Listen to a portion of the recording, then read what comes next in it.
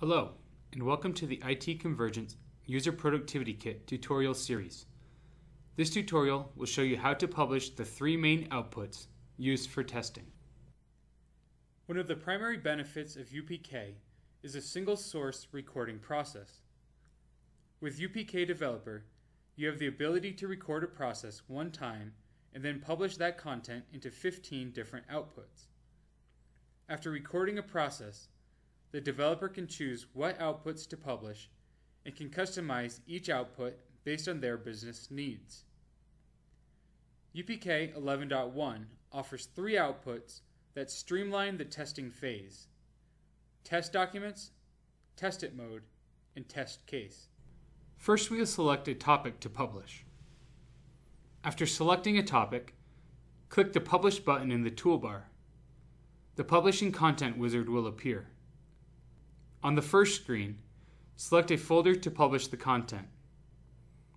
In this example, I chose to create a new folder to avoid overwriting previously published content. Simply type in a new name and the wizard will create the new folder for you. In the next screen, choose to publish either the entire outline or just the section you are working with.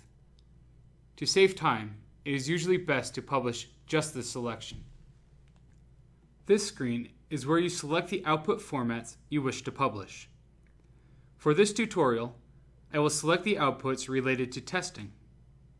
First, choose Player in LMS. Make sure to check the Create Test It Mode Player option. Next, select the Test Documents, Test Results, and Test Case output options. If you want to change the testing suite formats, choose different bubble text options, or change other features, do so before clicking Publish. I want to accept the default options, so I'll click the Publish button to begin publishing. The Publishing Progress window will appear. Please note that the publishing times will vary based on the size of the topics and the number of outputs selected. To view the published content, select the Open the folder where the content was published option, then click the Finish button.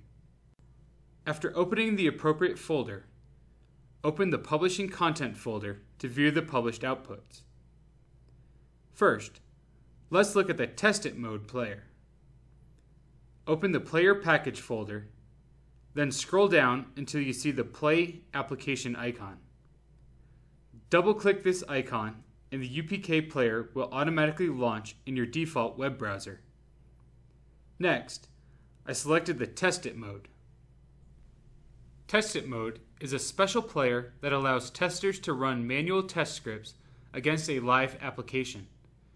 For this tutorial, I will only show how the Test It player looks and operates, and for sake of time, I will not complete the entire process. As a tester works through the process, the Test It player displays the action and instructions for each step.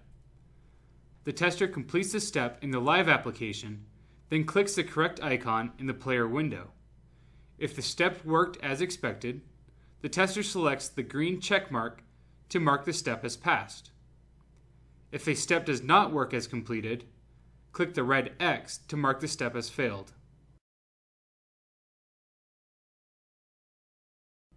To skip a step and neither mark it passed nor failed, click the Skip This Step button. If the tester experiences an issue, they can click the Add Notes to this Step button.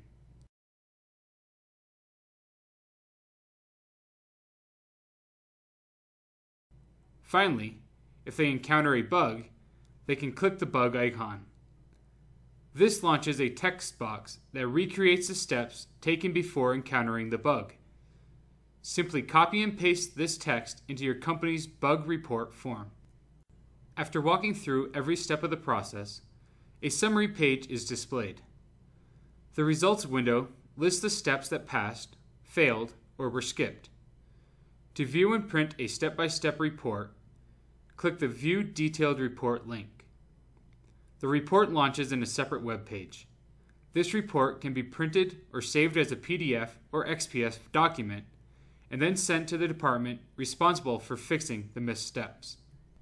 Next, we will briefly look at the test case document. Shown is an example test case published using UPK.